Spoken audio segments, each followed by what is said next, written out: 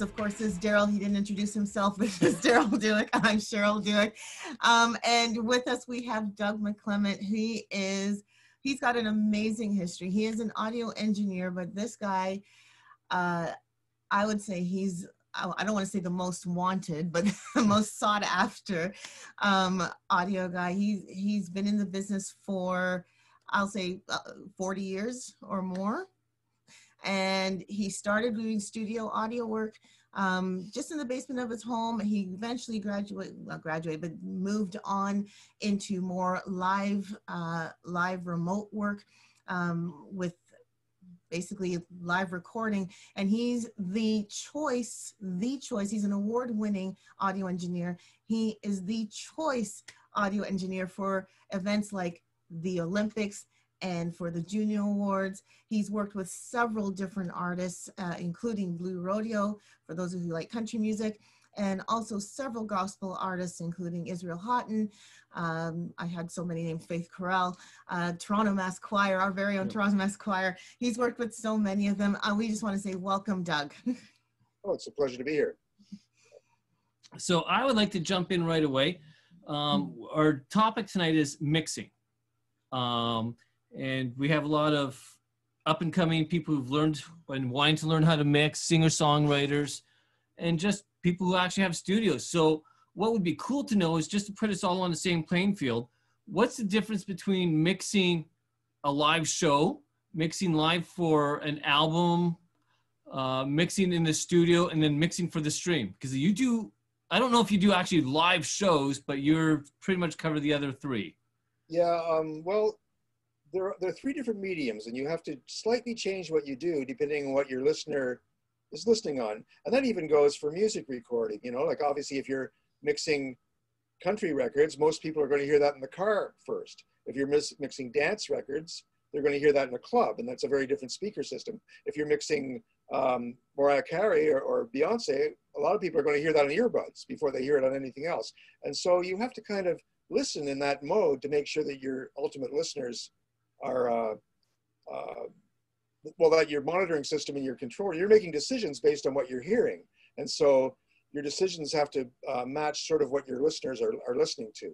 And, uh, and so um, in the case of worship music or go, uh, church music or gospel music, um, it's, it's a little bit of everything, I guess, but, but uh, um, you want to make sure that you had a, a good set of you'd probably want to check it on a, on a set of normal stereo speakers and on a set of computer speakers in your control room just to make sure that, that the, you can hear the vocal and you can hear the snare drum and everything's coming through clearly. So, so that your, um, your, your market, your, your genre, your market kind of dictates how, how you structure things to some degree, you know?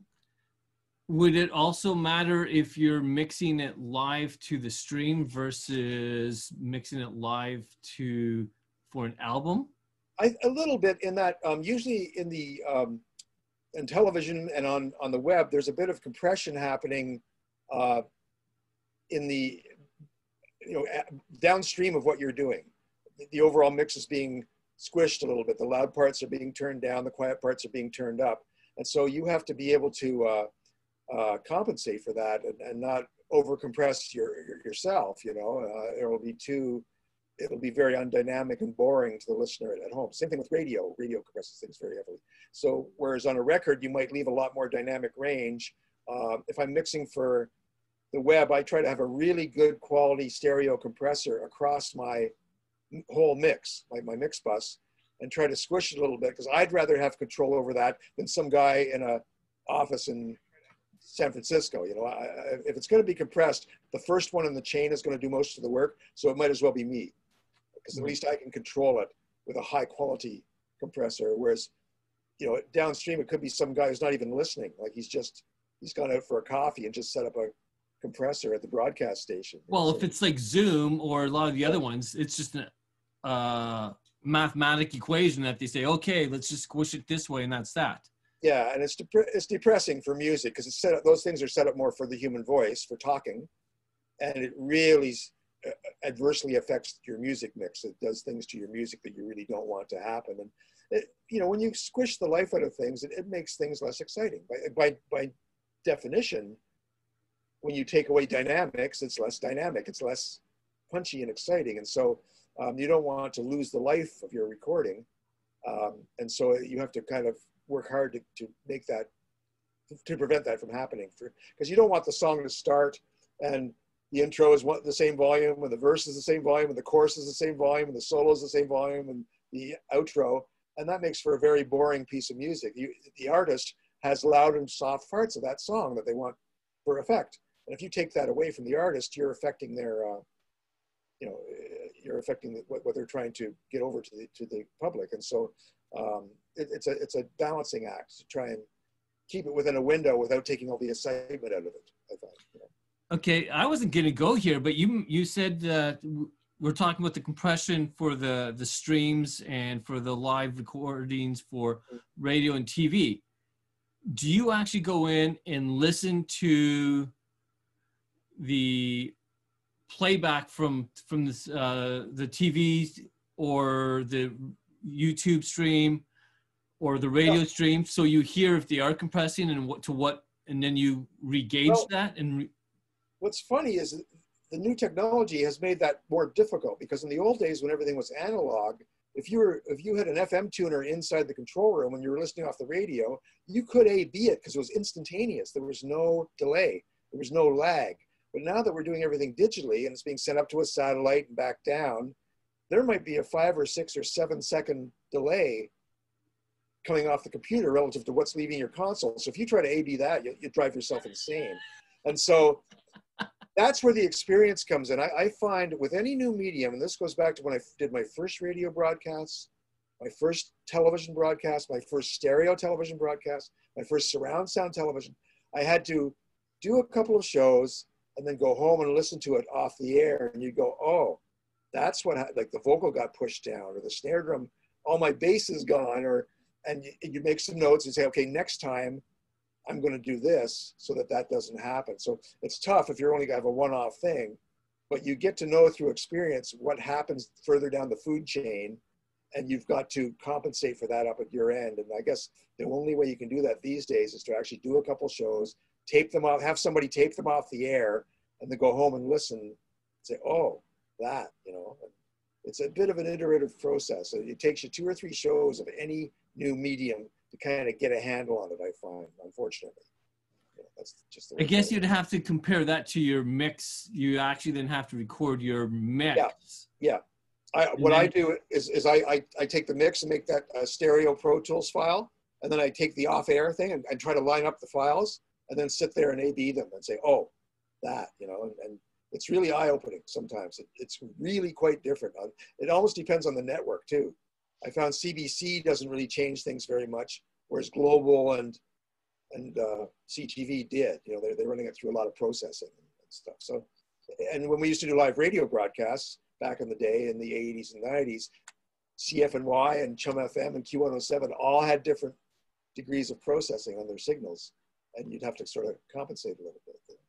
So what what do you do then if you're doing like a live stream and you're trying to record live for an album or a DVD, and then you're wanting to turn that into uh, a, an actual album that sticks sticks out? Like there's the live album slash DVD, there's the recorded album, and then there's the live stream, It's all being done at once. How would you? What's well, the it's not quite being done at once because the live stream is indeed live, and that two mix is the stereo mix you're doing live in the venue is very critical. But you're also probably multi-tracking it onto Pro Tools for the album because the album's not coming out that day. So so you would record that just the way you would in the studio. You've got only the only difference is everything's happening at once. So maybe you've got 20 or 30 or 40 tracks going to Pro Tools in addition to your stereo mix. So while the event is happening, you're paying very close attention to the stereo mix because that's what's going out now and keeping an eye on the levels on your multi-track, just making sure that they're nice and strong and clean and no reverb and no,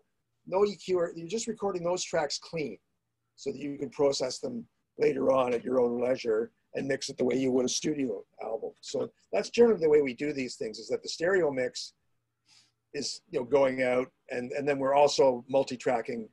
Often we have, in fact, these days, we often have two multi-track machines. We have two Pro Tools rigs or a Pro Tools rig and some other recorder because all the people watching this know it's pretty Pro Tools can crash. It's not it's not a question of if you know, is, is my system going to crash? It's going to crash. What are you going to do when it crashes? Have a plan B. I never, I would say in the last 25 years, I have not done a gig where I haven't had two systems rolling all the time.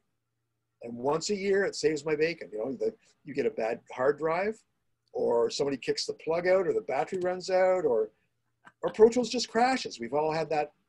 As, as Bob Ludwig so wisely said once, it's digital. Your choice is one or zero.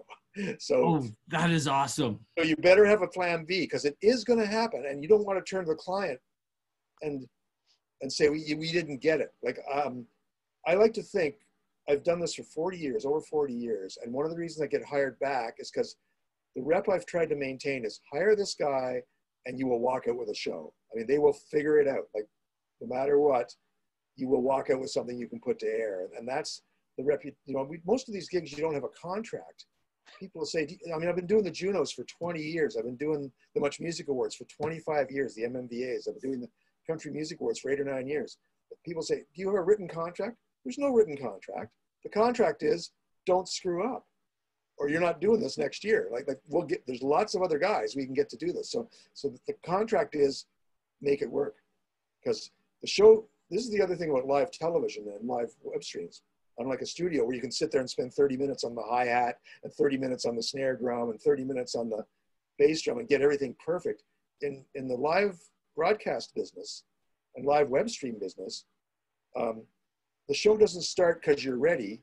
The show starts because it's nine o'clock. So you better be ready because it's starting at nine o'clock, whether you're ready or not. You better be ready to hit record because they're going without you. Yep. And that's that creates a certain mentality in the engineer. And I find when I'm hiring people, engineers that have had experience as a DJ or as a live sound mixer work well in my environment because I know those people, those men and women, have had to have it together by nine o'clock. You know, even if you're a wedding DJ, you've got a room with 200 people and it's going to start at three in the afternoon or whenever it starts. And if it doesn't, you've got 200 people looking at you and you may not get paid. So that creates a mindset of I better have all the equipment in place to make this show start on time or I won't be doing this much longer. And that's what my the live business is in a nutshell is, is, is have two of everything that's critical.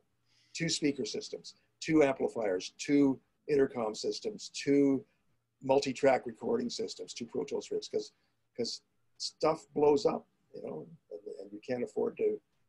You can't be the guy holding up the parade. Like to put it. Yep. Um, so because we're talking mostly live right now, what is your thought process on building a mix for for live? How do you go about? What do you start with? Well, particularly in, in any sort of worship music where the message is so important, you've got to build around the lead vocal. I mean, a fault that often a bunch of us engineers and musicians fall into, like when, when you when we listen to records, we listen to them differently than the general public or than your sister or than your mom, like because you know, you're listening to that guitar solo or the drum sound or the snare sound, and the average listener doesn't do that. You know, um, they are driven by the message, either the message that, that the vocalist is singing or the emotional content of the singer themselves. They're being moved by that vocal. So sometimes engineers and musician-based engineers have a tendency to ride the vocal too quiet in the mix, and I've never had anybody complain to me that the mix, that the vocal was too loud in the mix but sometimes you, my mom will, I can't make out the words, you know, and that's another thing that you have to remember is if you've been working with the band for a long, you know all the words. Like you're filling in the blanks. Even if the vocal's too quiet, you know the words, so you're filling that in. Whereas somebody out there hearing it for the first time doesn't know the words. And so they need the vocal up louder than you'd think, like slightly louder than you'd think for it to cut through.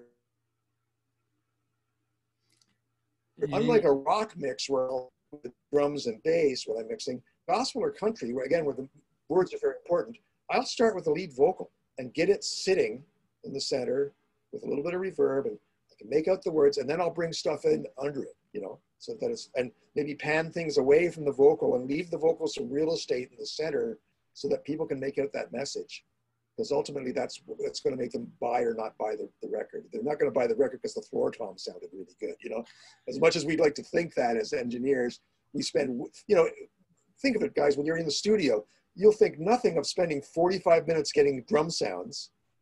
And then you send the singer out for about 30 seconds and throw a mic up and let's go, you know, and really, you should be spending a little more time getting that, that vocal happening. And uh, that I, I used to do that when I was younger. I fall into that trap. And now I, I really, you know, do spend time choosing the right microphone for the singer, choosing the right headphone mix, choosing the right uh, distance from the microphone and creating an atmosphere where they're very comfortable? Do they want lots of light? Do they not want the light? Do they need a music stand? Do they need a, a, a, a glass of a cup of tea or a glass of lemon lemon and water or create an atmosphere where they can deliver their best performance and the other stuff falls in a lot easier then you know? It's, it's all about catching the lightning in a bottle you know?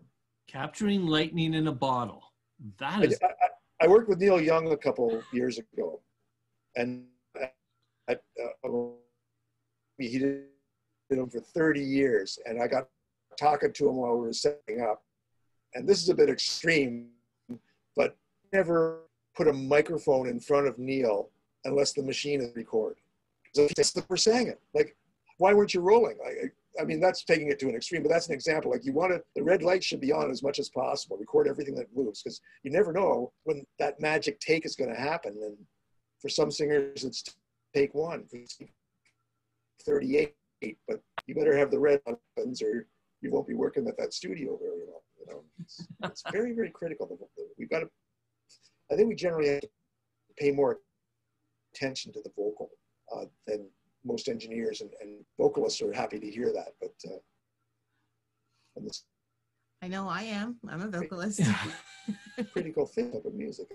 yeah. You know, and and so uh, I'm not saying the band doesn't have to sound great, but for most listeners, that's not their focus. You know, um, it, it's it's all about the, you know, think about, you know, when you go to somebody's house and you look at their CD collection and and they've got like about 20 CDs and every CD has sold a million copies. Like what I'm talking about, the casual listener, the person who only buys, I mean, nobody buys CDs anymore, but you know what I'm saying? Like the, the uh, most of their stuff is top 10 stuff, and so what all those records have in common, the vocals right in your face, you know, right. time after time.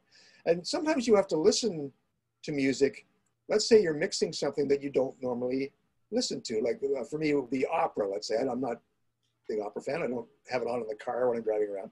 Um, to the people that you're recording, that's the most important music in the world, you know? And so you've got to maybe make an effort the month before that to start listening to some opera at home or tuning to the classical music station. Where's the vocal sitting relative to the band? How much reverb have they got on his or her voice? You know, when I started doing gospel, I, I was it was a new thing for me. I, the, the, first gospel groups I did in Toronto was a gentleman that some of you might know named Oswald Burke, and he had uh, he was with the Revival Time. Uh, he had a band called the Revival Airs, and this is when I had my little eight-track studio on Dufferin Street. And I said, Oswald, I, you know, this is like, I'm not too familiar with this style of music. Can you drop me off some, some records? This is even before CDs. Can you drop me off some albums that you think sound great? And I will listen to those for a few days before the session and just get a feel for what you think is a good sound, like, like what, where the vocals sit, where the band sits, how much reverb, you know, and, and uh, I do that when I'm dealing with a type of music that's, that's new to me because I, you know, it's easy for them to play me something and to tell me about it. You know, it's easy for me to hear what they think is a good sound. Now I can't make it sound exactly like, you know, a million dollar gospel record done in Nashville by by you know some famous you know one of the Clark sisters or something. Like I've not that sort of budget, but at least I have a ballpark idea of what they think sounds good, and I can strive towards that. You know, that's that's what I, I like to do. I'm still learning. You know, I'm 67 years old, and I still I think every session I learn something that something happens that didn't happen before. You just file it away in your bag of tricks and say, oh, when that comes up again, I'll, I'll know to, to do that, you know. So you're working on the vocal, you got the, the, the vocal there. Yeah. How much time do you spend looking for a verb or a, a, a delay? And what are you normally looking for? Because if you haven't put the band underneath that yet and you're trying to put that in fairly quick, yeah how do you go about selecting what's a proper sounding verb oh, and what's a verb that's natural and it, it's a question what, what, what, what room do you want them in, you know? Okay, um, first it's choosing what room do I want this singer to be in? Do I want them in a classroom? Do I want them in a small club? Do I want them in a theater? Do I want them in a cathedral? Do I want them in the Grand Canyon? That would dictate the uh, reverb that I'm using, usually the speed of the song. When I'm mixing, I generally set up three reverbs. I set up one reverb for the vocals, one reverb for the instruments, and one reverb for the drums. They're all slightly different times. The vocal reverb would be the longest, the instrument reverb would be medium, and the drum reverb would be fairly quick. Um, and usually I'll set up a couple of delays, and the delays will be set to the tempo of the song. So hopefully it's a delay that has a tap button on it, and I can just tap along with the rhythm. And I'll have one delay on quarter notes and one on half notes. And that way I can, I can if I want to thicken something up, at least the delays are in time to the song. So maybe for a fast song, it might be 180 milliseconds. For a uh, like, like, a real up-tempo gospel tune, it might be 180. For a, a, slow ballad, it might be 320, 325. So it, it, the, the, tempo of the song dictates the size of the room, because you kind of have to have the reverb. If you have a reverb on a snare drum, for example, it's kind of got to die down before the guy hits the next hit. So on a really fast song, that snare might have to be, it might have to be 180 milliseconds on a, on a really slow song. It might be two and a half seconds. It's, it's, it's speed dependent, uh, tempo dependent. Okay. And um, after I've got the, the vocal sitting well, I'll probably, if it's a piano vocal, I'll probably bring the piano up a bit and have that, or organ, some keyboard, some chording instrument under the vocal, get that sitting well. And then I'll bring up the kick and snare. I always think the kick and the snare should be about the same volume. Um, one thing I do, I haven't mentioned this yet. One thing I do is I start in mono. I put everything to the center. Um, not every engineer does this, but I know a few people that do. And I find if you can get it really rocking in mono, it's real easy to spread stuff out afterwards. But if you can get the separation you want with everything coming down the center, then when you do splay it out, maybe put the guitar over to the right and the accordion to the left or whatever you're doing, um, then the vocal has a nice place to sit. But, but uh, if you can get the mix really solid in mono, um, it'll work in stereo. It doesn't always work the other way. So Sometimes you can get a real rock and mix in stereo and you collapse it to mono and now you can't do the snare drum, you can't do the vocal or something. So I find that. I also try to have usually three monitor systems when I'm mixing. I have a large set of speakers, in my case in the truck here, the Genelecs. Then we have a smaller set of bookshelf speakers, near field monitors. Um, like Auratones or something like that, like almost like, uh, you know, not very expensive. And then I'll have some mono, like a car radio speaker or a ghetto blaster on the console. And that's kind of my cheapo, cheapo court of last appeal. And again, I find if I can get the mix really rocking on the little speakers, it'll work on the big speakers. But if I get if I start on the big speakers and get it really happening on the ten thousand dollar speakers, and then collapse it down to the ghetto blaster, it doesn't always work. Don't know why that is, but it seems that as a mixer, you want it to sound like when you listen to your favorite sounding albums, like really good sounding records, they work on everything.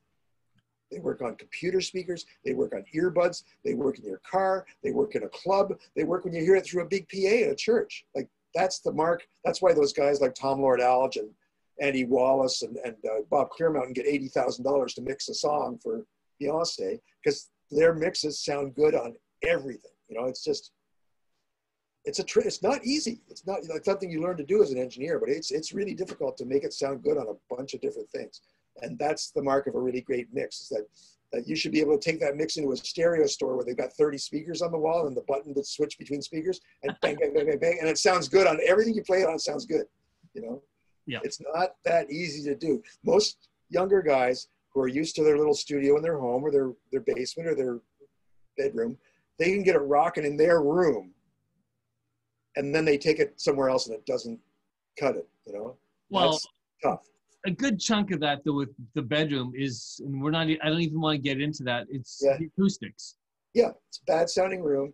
You're, you're compensating for a bad sounding room or you don't have very good speakers or the room is consistent like you've got a door on one wall and getting soaked up by a curtain on the other side.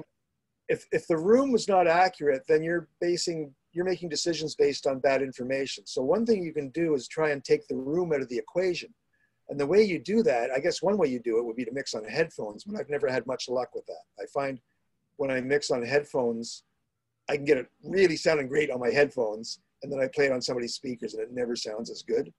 So what you can do though is if you have the speakers far away from you in your room, you're hearing only about 10% direct sound coming to your ears and about 90% sound bouncing off your ceiling and your floor and your walls and all that. And since your room's not accurate, it might be perfectly square or something. Um, you're going to be making bad decisions because the reflected sound is inaccurate. What you want to do is get more direct sound. How do you do that? Put the speakers closer to your head. So if you have the speakers on top of the meter bridge of your console or on your desk, you know, within a couple of feet of your head, then, I mean, it wouldn't matter if you were sitting in the Rogers Center. If you're close enough to the speakers, you're hearing the direct sound. Your brain hears the direct sound before it hears the reflected sound. It tends to turn up the first sound that reaches its your ears. And so it'll turn up that direct sound and turn down that reflected sound. And now you're you're basing your decisions based on that direct sound, which is more accurate. So that's a good trick is to maybe have a set of speakers that are a little closer to your head if your room has terrible acoustics. And that way you're eliminating the room. You could be in a football field that it wouldn't really matter that if the speakers are close enough to you, you know. And so that's critical, I think, is finding a good space where the, where the speakers, where you're hearing mostly direct sound and not much reflected sound. I mean, you'll even have sound bouncing, coming out of the speakers, bouncing off your console if you have a console into your ears. And that could affect things a little bit. So you, you, where the speakers are positioned is very, very critical. And I think having more than one set of speakers is critical. Okay. So, so, and then once you've got the speakers where you want them, get a great sounding CD from another source, like some million selling, whatever it is you're mixing. If it's a rock CD, get a million selling rock CD. If it's, a worship music, get a, you know a choir or a or a gospel group or whatever it is you're mixing, and that was done in some big expensive studio in New York or Atlanta or Nashville, and listen to that on your speaker system, your speaker system, and make a note. Oh, the bass is about here, and the vocals sitting about here, and so if I make my record sound like that, it'll sound good in the outside world. You know, um, I do that whenever I'm going to a studio I've never been in before and I don't know their room and I don't know their speakers. I have a little CD, I, actually a thumb drive with about seven or eight songs that I know inside out. Songs I've been listening to for 20 years. Some things that I recorded, some things that have been done by, you know, Steve Mann or. I went to the Olympics in Sochi in 2014, and they put me in a, a truck that was from the Netherlands on a German console with speakers I'd never seen before and so I luckily had this th- thumb drive with some of my familiar songs on it. And the first thing I did when I walked in that truck was, "Hey, can we listen to this for about half an hour before I'm setting up?" And I said, "Oh, okay, that's what that, this room sounds like." You know, it's a little boomy. So if I mix my stuff to be a little boomy, it should sound good elsewhere. You know? So you need it acts as your compass. It's your compass. So you you need a little reference uh, USB stick with five or six year tunes. You just have to know those tunes inside out, and you can walk into any room and you know acclimatize your ears to that room instantly. So that's that's a, a good bit, bit of advice if you're if you're a freelancer and you're working in a lot of different studios. I mean, the other thing that some freelancers do is they find a set of speakers that they love, a little set of bookshelf speakers, and put them in a suitcase eh, or a little road case, and they take those to every studio they go to. So they always have the same monitors and then buy a pair and just take those with you wherever you go. Say, hey, can we put these up on the console? I'd like to mix on these. But I think if you're a freelance engineer working in a number of different studios, it's a good idea to find a small set of speakers that you really love, buy them, and bring them with you wherever you go. And that becomes, it's like your guitar or your saxophone, it's your instrument. And it's it's a safety blanket. You you know if I'm mixing on these, I know what the the bass is the bass and the treble is the treble, and I can I know what I have to do on these speakers, you know. Or else phone ahead to the studio. If you're going to Vancouver or something, I phone ahead, hey, do you have a set of Genelec 1031s? No, can you get me a set and put them in your studio for the, I'll rent them, you know, I just don't want to cart them on the plane, but I'd like to see a set of those speakers in your studio when I get there. And uh, that way I walk in, oh, okay, I know what I'm walking into here now.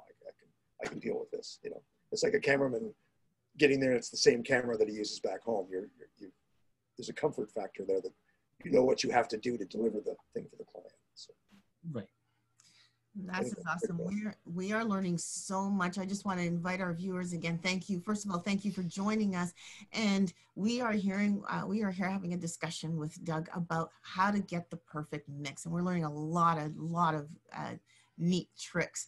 And if you're a singer songwriter um, you might learn a lot too because one of the questions i have for doug is as a singer songwriter as a as an artist who who who's not in the on your side of the the field what can we do to help make your job even easier? I think um, well being prepared maybe already having figured out what the best i find that some singers come into the studio and they've chosen the wrong key for the song like they they it's almost like they don't know their own strengths and their voices i find this a lot and just moving it up a tone or a, a couple three semitones can totally change the strength of the vocal. So I think finding the right key and finding the right tempo and doing this for free at home. Like don't be figuring this out in the studio when you're paying a dollar, you're paying $60 an hour at a studio. That's a dollar a minute. So if you spend five minutes figuring out the right key or the, and also you don't want to change the key on the band. They're, you know, at the last minute. I've, I've been there, man. I'm sitting there reading the paper and they're rewriting the charts for the band. I'm making a dollar a minute reading the paper, watching these guys work this thing out because they, they didn't find that out in the rehearsal hall.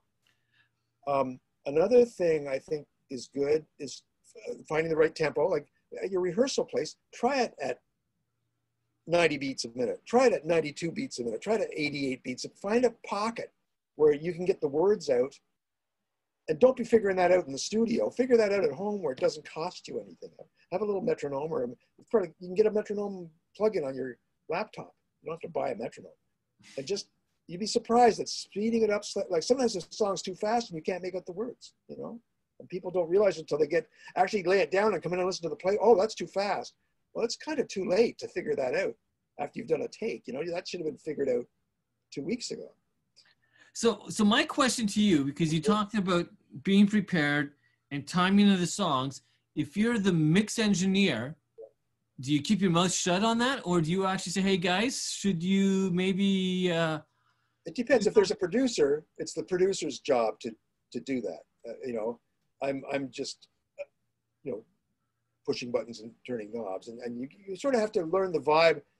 If you know the producer well enough, you can say, "Hey, do you mind if I have some input here?" Or some producers are totally open to that, and some guys are like, "You're just a button pusher. Just you know, turn out the fader. Here's a banana." You know, so so so so so, so uh, um, you have to kind of know uh, some artists are very welcoming of that and some you know but quite often in the smaller situations there is no producer so the engineer becomes the producer and that way they're counting on you to also to tell if they're out of tune and but it, there's a bit of tact involved like if you're if you're if you're sitting there and somebody's singing out of tune and they're on take 17 of this vocal and they and they know they're out of tune and you know they're out of tune, but they don't need you hitting the button saying, hey, that's out of tune, let's do that again.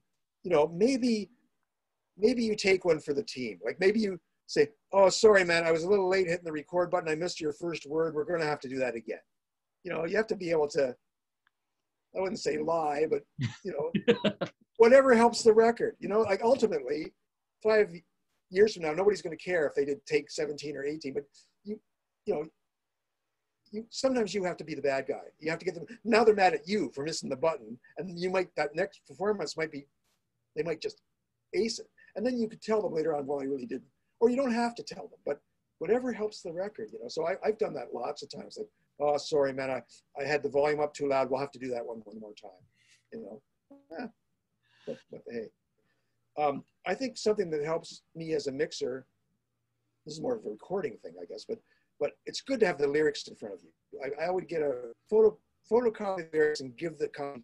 They can write down where each verse starts, where each chorus starts, and, and, okay. and that way, if they if the singer says run it back to the third verse, you're not uh, what number is that? You know, like, uh, like, if you have the lyrics and you've been writing down the start numbers of each verse, you can roll, oh, that's 603 and go back to that point. But if you don't have the lyrics, you're just, and then you get really confused if there's like three identical choruses and they want to roll. Let's go back and do the second chorus, and you roll it back. And, oh, is that where am I? Am I at the first chorus or at the second? Whereas if you have the numbers down, you know where you are in the song. You don't run the risk of erasing something they want to keep. Right. Don't ask me. Don't ask me how I know that, but uh. Well, you don't have to worry about that with digital nowadays because you keep everything.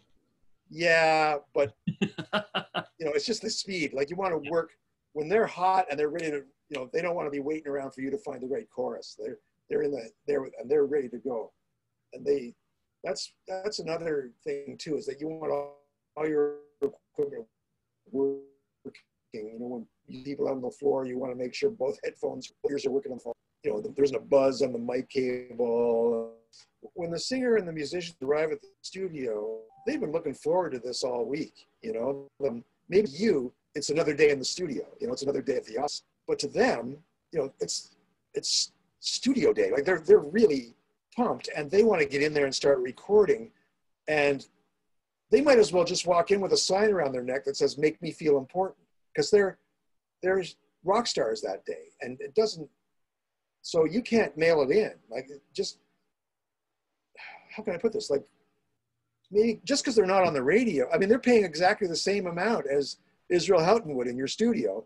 They deserve every bit of your attention. You can't be sitting there reading the newspaper or fiddling around fixing a piece of gear or on your phone. If they look down and they're pouring their heart out on the microphone and they look over and the engineer's sitting there on the phone, it's like really uh, uninspiring. I, have had musicians pack it up. I mean, there was a guitar player named Robert Fripp once.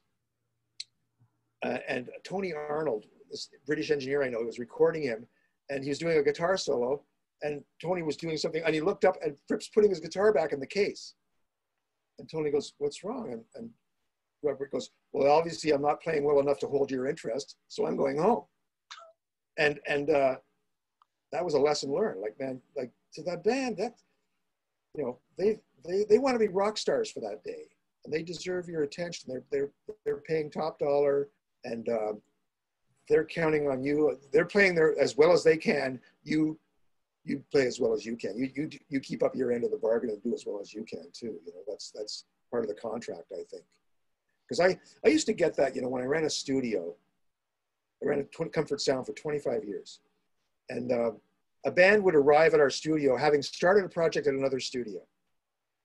And they're halfway through the project and suddenly they're at my studio. And I, after a, a couple hours, I'd say, well, like what happened? Why didn't you complete it over at Studio X?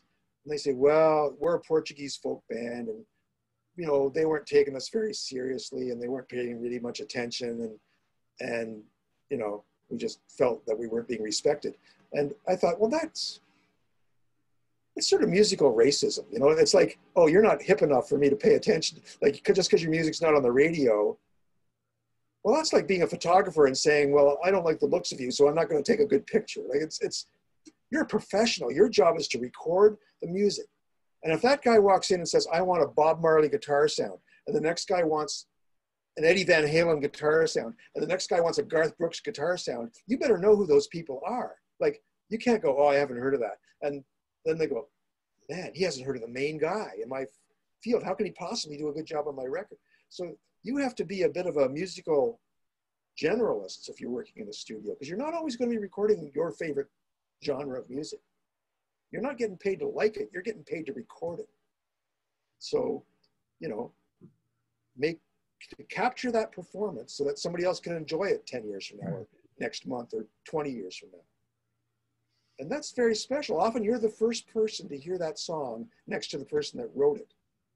One of my friends says, it's like walking into a museum and being able to go up and touch the paintings. Like you're, you're in the room with the artist and they're pouring their heart out into this tune and you're it's a real privilege to do what we do you get to hear these songs first and help that artist get it onto a storage medium so that somebody else can be moved by it and it doesn't really matter if they if it makes them happy or if it makes them sad or if it makes them angry or if it makes them want to dance or it makes them want to put their fists through the wall it has to move them in some way or it's not art, it's just wallpaper. And so think of the times when you've been driving in your car and you hear some killer song and you've got to like pull the car over. Like, who is that? Like, we're all here because sometime in our lives, all of us musicians and engineers and songwriters, that happened to us. That that feeling of that where the hair stands up and you're oh, that's so such a moving lyric or such a great guitar solo or such a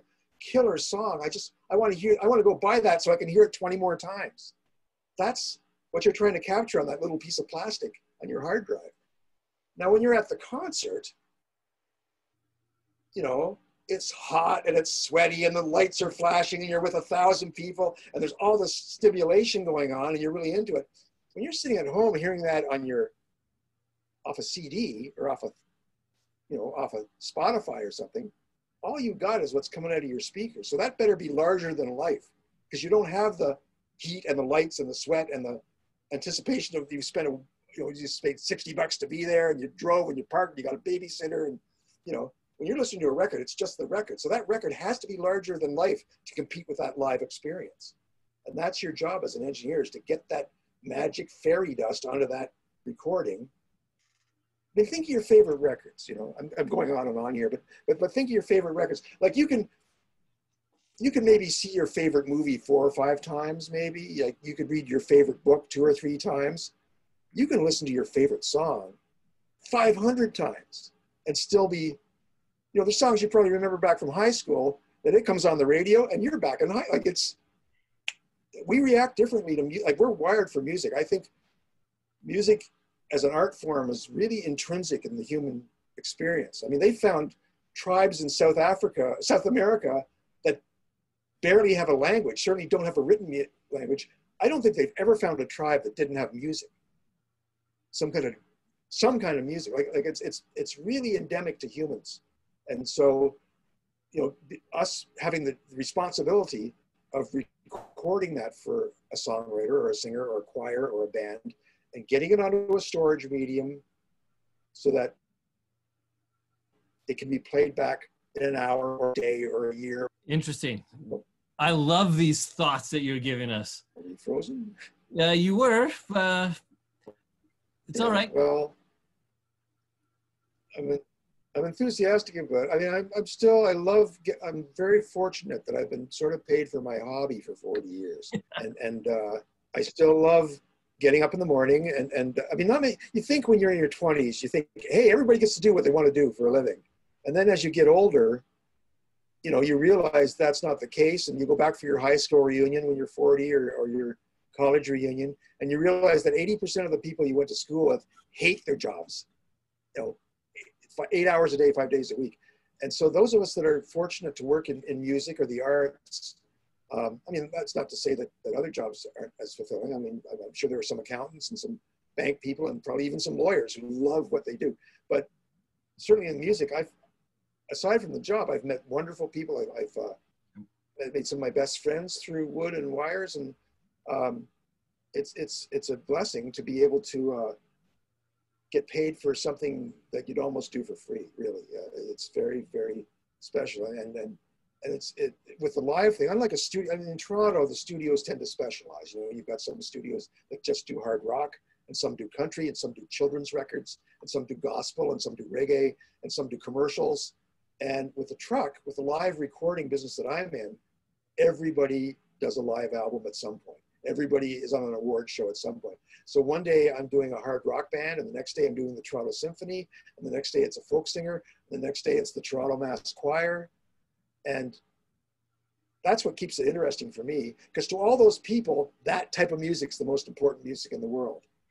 And as long as there's feeling in it, as long as they're being moved by it, I can get into it, you know, whether it's, and in Toronto, of course, Toronto being Toronto, a third of the music you get to record is Korean music and Italian music and Ukrainian music and, you know, uh, all these different language types of music. I've done a lot of uh, gospel music in other languages, but those people still have the, the same feeling as everybody else, and you can tell it. And, and I love that part of being in Toronto is that it's, it's like, otherwise it's just like eating hamburgers all the time. That'd get pretty boring, you know. I get really bored just doing rock bands all the bass drums, guitar, bass drums, guitar. I mean, that would be really tiring. So every time you record a new, I've certainly learned things doing worship music that I've applied to other types of choral music. And I've learned things, um, I've got a lot of experience recording Hammond organs through all the gospel stuff that I did. So when somebody shows up at my studio with a Hammond organ, I know how to do that, you know, because I've, I've done a, a hundred gospel records with great Hammond players, and I, it was maybe the first five were a little dicey, but after a while we figured it out. You know, so so every you, you just file that away in your little bag of tricks, and uh, you know, or you know, accordion music. Like for a while, my studio was across the street from an Italian accordion shop up on Dufferin Street. And we used to do, some of their students would come over and do accordions. And so about 10 years after that, when all these uh, Celtic bands from the down east started coming up with accordions and fiddles, do you know how to record an accordion? Oh yeah, I've done about 50 accordions. I can do, or bagpipes, I know how to do that, man. I've done that. So even, you know, everything comes in handy later on, you know. I've, I, I did some gospel singers early on that were really loud singers, very, very, very powerful voices, and they would overload a standard microphone. Hmm. And, and I found a mic that would work with those people. And now when I run into a rapper that's got really loud mic technique, I, oh, he needs this mic that I learned that the gospel guys can't overload this mic. This guy will not overload this mic. So all these things, you know, you can't find two types of music that are more far apart, but those two things people say, how did you know to do that? Because 10 years ago, I had a gospel singer that blew me out of the water, Jerome Farrell from the Lighthouse Choir in Buffalo, yeah. just about exploded one of my microphones because it was just, he was as loud as a guitar amplifier. Yeah. Well, just a loud, a good singer, but just really big man, very, very powerful singer. And uh, I learned that he just over, the capsule couldn't take it, just couldn't take the volume. So we had to put a mic that we normally use on electric guitar on his vocal because he was overloading the mic. No matter where I set the volume on the console, I couldn't couldn't stop it because he was 120 dB just coming out of his mouth. So so uh, you know you learn these things and you file them away, and then you get to be the, like two years later. People say, "Wow, you're such a genius." You know, no, it's because I made that mistake 10 years ago, and I, I will make more mistakes, but they will be new ones. I'm not going to make the same. You know. Yeah. Big difference between having 10 years experience and having one year's experience 10 times you know it, it's uh, you don't want to keep making the same mistakes all the time. So speaking of mistakes, let me ask you this: three things to help young guys not make mistakes, or what are three major mistakes that young engineers, mixed engineers do, and what can be done to fix them? Um, well, there's a few things. I find that uh, overuse of compression is a serious problem in mixing over the last 10 years because people compress stuff when they record it and they compress it when they mix it and then they take it to the mastering facility and they compress it and then it goes to the radio station and they've got a compressor across. So by the time the guy hears it at home it's been compressed, five times and it's just like sawdust like there's no emotion to it. So i've found myself over the last few years backing off a bit on the compression letting the music breathe a bit more. Um, I think another mistake is not is working too much on their own. Like you want to get, you want to read as much as you can. There's lots of stuff on the net. There's a great chapter in Toronto of the Audio Engineering Society, which is an organization of recording engineers. They welcome students, they welcome young people, and uh, I've learned a lot just talking to those guys during the coffee break. And sometimes, you know, there's a lot of studio owners there. Sometimes you can wangle a studio tour of the, oh, you're with such and such a studio. I've got a couple of CDs from that studio. Uh, I'd love to check it out sometime. Yeah, come on down next Thursday. We got nothing booked and check it. So that's becoming part of that community. And they bring in really good people to, to uh, speak to. If a, if, a, if a real hot New York or LA engineer's in town, uh, when the, the week the meeting is on, they'll have the guy come up and do a little presentation and you can learn some stuff from that. So that's uh, aes.org. Toronto has a really healthy chapter of the audio engineering. It sounds hoity-toity. It's not. They're just a bunch of people that love audio like you. So I've been a member since I was a student, you know, when I was in my 20s. It's, it's great. Um, what else? Uh, see, not labeling things very well. Like, it's not, we're not you're often handing your stuff off to somebody else. And they shouldn't have to figure out what it is you gave them. It, it should be on the hard drive. This is a Pro Tools version 12 session, the date, and it's 48K and it's 24 bit and as much information as you can on the box or on a piece of paper when you hand it off to the next guy in the food chain. And that way they don't have to play a guessing game. Um, I find that people that don't go studio with a 35 track session and the tracks are audio one, audio two, audio, you know, give it a name like vocal, bass, like, like document your sessions. I like on the comment section writing down what brand of microphone I use. Like, oh, we used a U87 on the vocal and we used a 421 on the. Because then I can listen to it and say, oh, that sounds like that because he was using this microphone, you know. Um, so that's a good idea. Having the times of the songs the, uh, what's on what track and uh, so labeling things. Don't assume that you're always going to be the only person looking at this file. Like, what would you do if you handed handed it to your sister and she had to figure out what, or your brother and what was on it? It should be that well documented that somebody can pick it off a shelf and, and figure out, oh, is this Pro Tools? Is this Ableton? Is this Logic? Like, at least have that on there. What what software and what version it was. Uh, or at the very least your phone number so they can call you and find out. you know, you get these people have come with these mystery hard drives, and I don't even know if, it, if it's Apple or PC. Like like, you know, it's it's a mystery. So so it was easier back in the days of analog tape because we had everything came in boxes, and you had room to put sheets of paper in the tape boxes. But now, of course, on a little drive, we don't. Yeah, but that but that brings us back to exactly what we started off with. Yeah, when we were talking about you baking the, the, the tapes and you yeah. were actually saying that they weren't even labeled properly. Some of them were, some of them are great. Like I've got, you know, here's, I mean, I've got some of these tapes I'm working on right now. Um, like a tape like this from, uh, this is a tape, this is from 19, it says November 13th, 1976, seven and a half IPS stereo master. Song title, artist name, that's great. And then you get these other things that are just a white box. So I had to put it up. Oh, it's a different speed. Oh, it's backwards. The, the front end is wound up, you know, like, like, like take five minutes and label the box because now this, these tapes are from the 70s. They're 45 years old. And so I'm here I am trying to figure out what's on them. You know, it's and then I get other stuff from professional studios. There's actual track sheets and microphone charts and mm-hmm. floor plans of where the musicians were set up in the studio those pieces of paper are 40 years old, but I can look at that and go, oh, that's how they did this, you know. So that that's it's handy to have all that information somewhere. I think it's a good idea to maybe have a text file as part of the file and just have it, they can look it up. It's a Word doc or something that has all that information on it. It stays with the music, makes it easier. So make it easier for the next guy in the food chain to figure out what the heck you did. Otherwise, you're getting the phone call at three in the morning. I'm over here in Vancouver and I can't figure out what you've done you know, where's the vocal? Like there's seven vocal. Here's the other thing. I'll get a tape to mix and it's got seven vocal lead vocal tracks on it. Okay, which one's the keeper? Was track seven the best one? Was track four? Like, I don't know.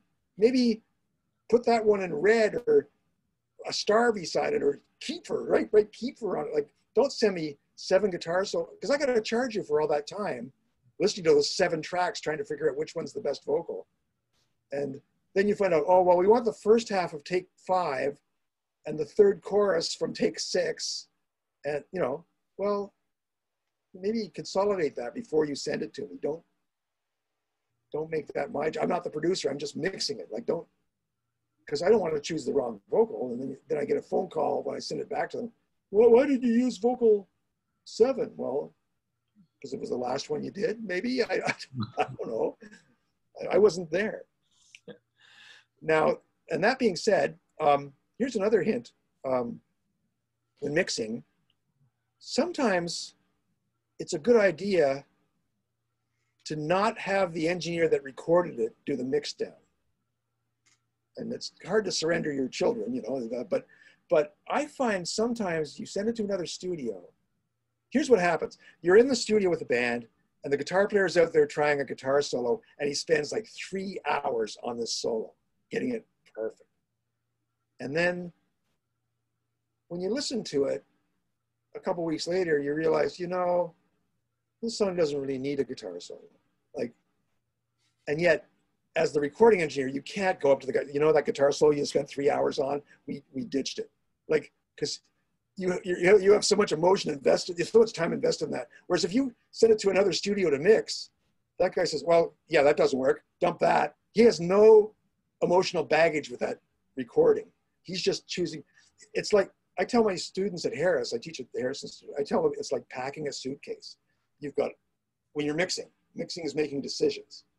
And you've got all this stuff thrown out on your bed and only a certain amount of that stuff is going to fit in your suitcase. So mixing is where you're choosing the stuff and trying to cram it into only so much is going to fit in that suitcase. So that means you're not going to take five pairs of pants and seven t-shirts and four pairs of shoes. And like you've got room for one pair of shoes, one pair of pants. Like that's what mixing is. Only the decisions are basically four decisions. How loud is that track? So the volume. Um, panning, where does it sit in the stereo panorama? Is it coming down the center of the mix? Is it to the right speaker? Is it to the left speaker? Is it like 11 o'clock or 1 o'clock? Um, where is it in the stereo panorama? What's um, is the EQ? Does it sound great the way it is, or does it need a little more bottom, or a little more top, or a little less mid-range?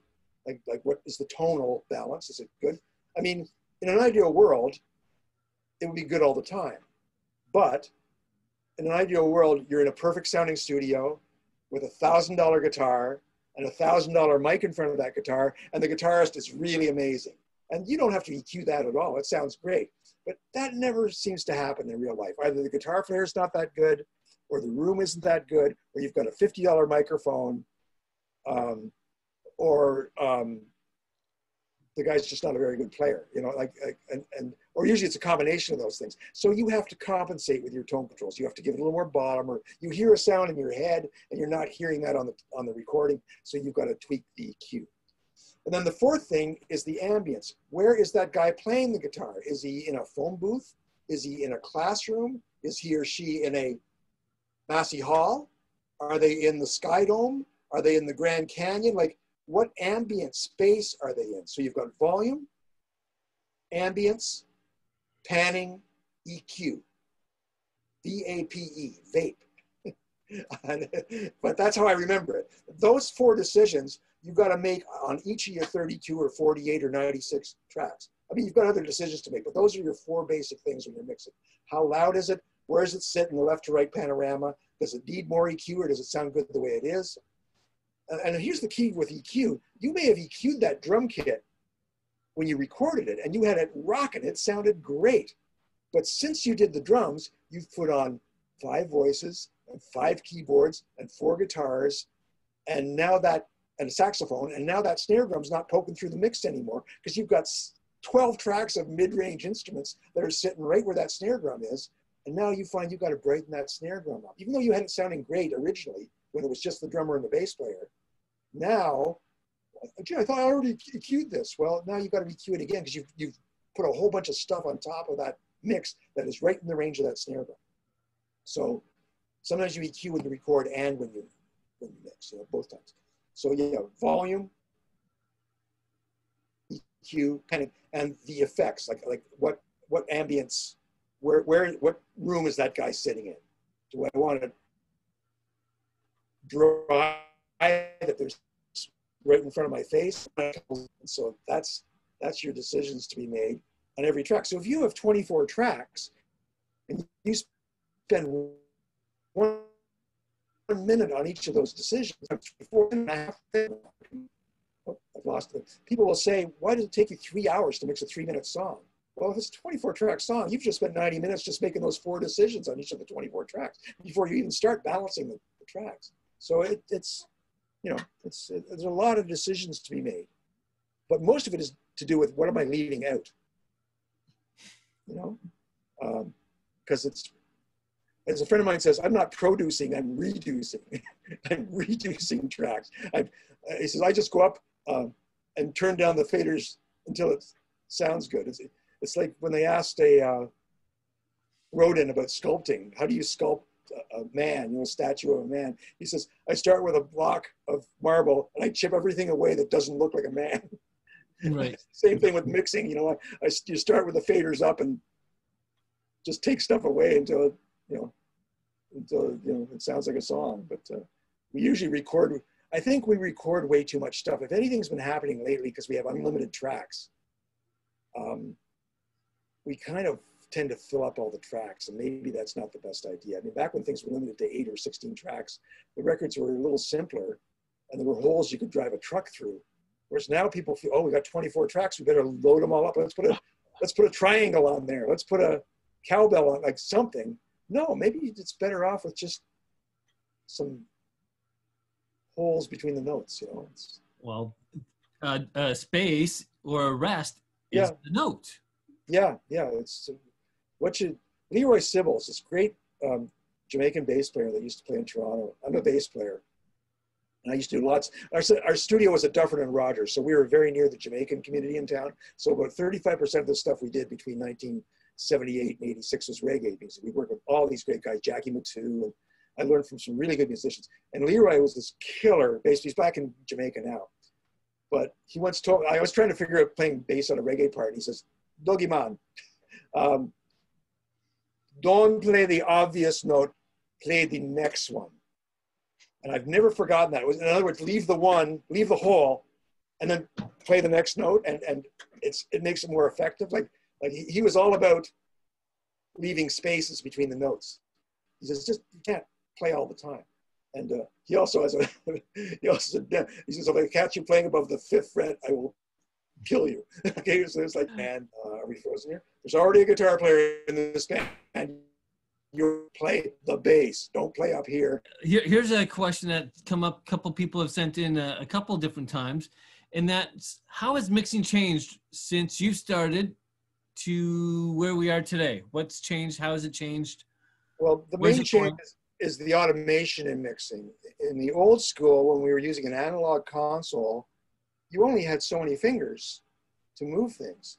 And so people laugh when I, I so students laugh when I say this, but I remember doing mixes and we had six people. The whole band would be at the console, and each guy would have a fader move, and maybe the guitar player would have his finger on the guitar fader and say, "Okay, when the counter gets to 106, you will mark this with two with two uh, with a piece of masking tape and some magic marker. Move that fader up from the red mark to the green mark when the counter hits 106. Okay, drummer, I want you to goose the reverb on the snare drum up when we switch from the verses to the chorus. So everybody would have a job.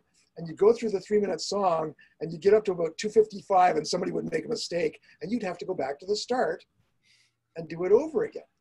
Whereas now with Pro Tools and Logic and, and um, uh, Ableton and the various types of stuff, Cubase, um, you work on a part and you store it. And then you work on another part and you store it. So mixing in the box allows you one engineer to do the work of six or seven people because you, you you're not just limited to your 10 fingers you can do more stuff also you can um, work on one track at a time you could just work on the guitar track and get that perfect and then move on so i don't think it's taking any less time than it used to it's just we have much more precision much more control over all the elements and much more repeatability one downside of this of mixing on the computer is that we've lost what I used to call the happy accidents. For example, let's say that we did a band and the guitar did two different guitar solos with the idea that they would keep the best one. So he does two or three guitar solos. Okay, band, come back in and let's listen to the playback. Let's do the mix. And you're doing the mix and you accidentally leave both of them up. And you think, oh, sorry, man, I meant to fade. He says, no, that sounds great with the two solos. Let's keep that. Whereas, and that ends up on the record. Whereas with a automated mix on Pro Tools, once you automate something out, you'll never hear that again. Like that thing is muted, and you'll never hear that um, mistake again. I, I have a great example. Again, I hope this holds together for this example. But back in the old days when we were recording on reel-to-reel tape, and you got 32 minutes on a reel, and a reel was $160, so you really didn't want to be cracking open new reels. You got 32 minutes on a reel, so that's whatever that is, $5 a minute for tape. I was recording a Toronto punk band called The Government, and they they did five takes of a song, and we were we reached the end of the tape, and they said, "Okay." I said, "Here's the option, guys. We can crack open a new reel and do take six, or, or we can go back and erase take one. Is there any chance we'll want to use take one?" They said, "No, it's been getting better." So I'm pretty we're pretty safe erasing take one. So I roll the tape back to the head of the reel. We, we rewind back to the start of the reel to do another take of the same song, to go, to go over take one. But they played the song faster. So it ended earlier. So they come in to do a listen, and the song ends with a big bling like that. So we're listening to this new take, and they're really digging it. Sounds great. And the song gets to the end, and goes bling, and then the tape runs another five seconds, and you hear the bang from the first take because they played it slower. And oh, sorry, man, I meant to fade that out. And the guitar player goes, no, that's great. I love that. Yeah, they had to pl- start playing the song that way live because that's the way it was on the record. It had the two guitar chords at the end, so they had to actually change the way they played it on stage because to play the two chords. So that's a ha- that, that's what I call a happy accident. And in digital, that wouldn't happen because you just do another take. You wouldn't go over anything. You just do another take. So some of these little things that where the medium limited us to the number of tracks we had, you know, where you you couldn't do a new vocal without erasing the old vocal because you only had four tracks. Those great Beatles records, I mean, they were erasing as they went because they only had four tracks. So it wasn't like, do you think you can do a better one? Because if you don't think you can do a better one, we better not do it because we got we got nine racing the nine out of ten to get an eight out of ten. You know, and so no, no, I can do it, I can do it. And then they get out there and their voice cracks, and you've not only got a bad take, but you've lost the previous take. That used to happen all the time in analog. That doesn't happen in Pro Tools or Logic because you keep everything. So that's that's the thing is that people can afford to get sloppy, and I think they have gotten sloppy because when in the old days you were that was the take, man. You you couldn't go back to the previous take necessarily. So it forced a discipline, and there was a finite number of tracks. If that tape deck had 16 tracks, you had 16 tracks. Like you couldn't suddenly decide, oh, let's add a saxophone. No, you've used up all 16 of your tracks. Either we put that saxophone in the, in the vocal track where you're not singing in the middle of the song, or we just can't do the, the saxophone. So you had to plan it out. Whereas now with Pro Tools or Logic or anything, you just add another track, add another track. Back then, there was a brick wall limit. You had 16 tracks or you had 24 tracks. That's what you've got. Everything's got to fit into that suitcase. So you are making decisions as you go. Now we we leave all those decisions to the end, and that means that the mix process is taking longer. Remember back in the old days when you'd go into an ice cream store, a mom and pop corner ice cream store, and they had chocolate, vanilla, and strawberry. And it didn't take you long to figure out what you wanted. And now you go into Baskin Robbins, and it's almost, it's too much. Like there's 35 flavors. How it takes you five minutes to figure. You know, that's sort of what we're at with the, the infinite number of tracks. Is that the older method, although it was limiting, it forced you to make a decision early on, which meant the mixing was a little less complicated because you had already done some editing on the way there. Whereas now you've got, you get to the mix stage and you do have, you've got five guitar solos and five lead vocals and I don't know if you guys have ever talked much about comping vocals um, in terms of the mix stage, but when I'm doing vocals with a singer, I this is where I need the lyric sheet. I have the lyric sheet. I have five colored pencils: red, green, blue, yellow, purple. And rather than sending the vocalist out and working on the first line of the song and doing that 100 times until they get it, and then moving to the second line of the song, then moving to the third line, I always find that makes the vocal sound kind of jumpy and not consistent because they're walking in off the street and singing the third line in the second verse, and it doesn't sound like they're telling a story. So what I like to do, I like to send the vocal, get them all warmed up, get the headphones happening, send them out. I say, okay, you're going to sing this song six times in a row without stopping bang, bang, bang, bang, bang. We're going to sing the next 30 minutes. You're going to do this song six times on six different tracks. So I send them out and they do it on track one, and then back her up, track two, track three, track four. Okay, come on in. So now we've got six vocal tracks, complete vocal tracks. I take out that lyric sheet, I take out my red pencil, and let's listen to track one. And we listen to track one and we underline everything that's good in red. Everything that's great. It's not enough that it's good. It's great. Everything great, I under. Okay, let's listen to track two. And anything that isn't already underlined that's great on track two, we'll underline in green. And then to the third track in yellow, and the fourth track. And so by the time we've gotten through those six vocal passes, which don't sound jumpy because they sang the whole thing all the way through, so they told the story.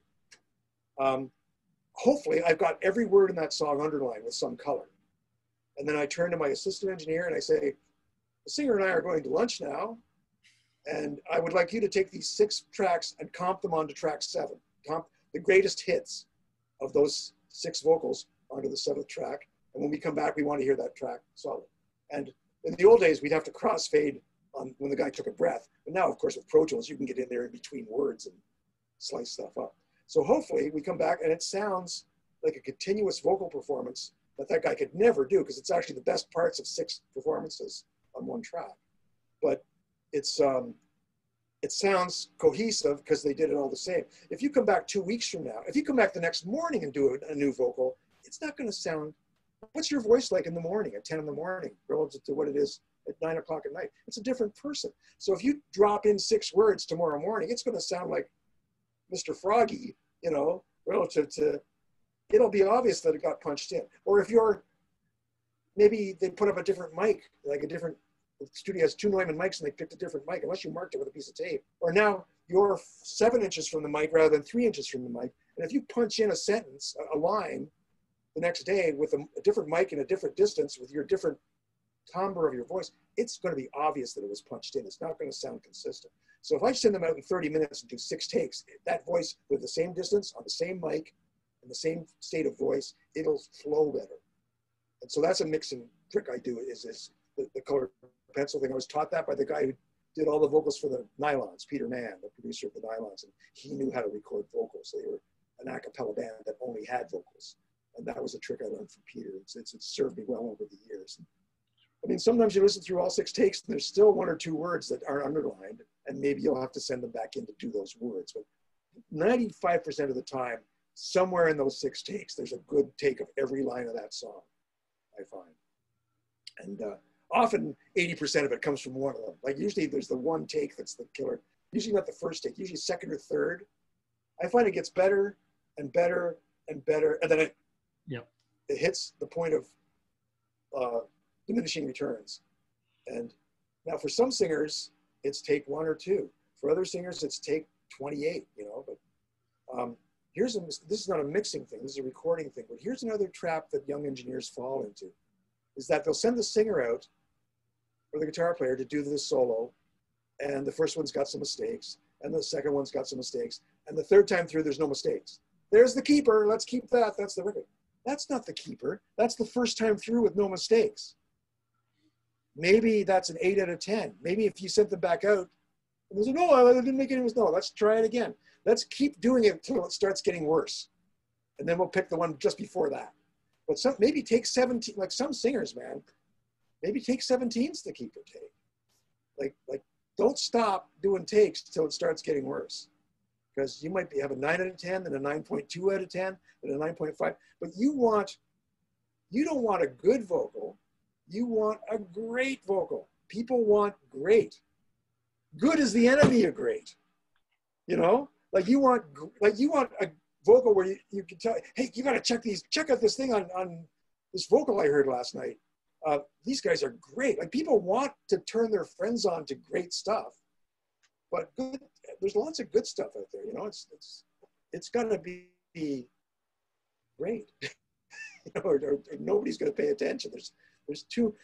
So here's something else that's changed over the last 20 years. When when when you had to have a record deal to get heard, to get into a studio.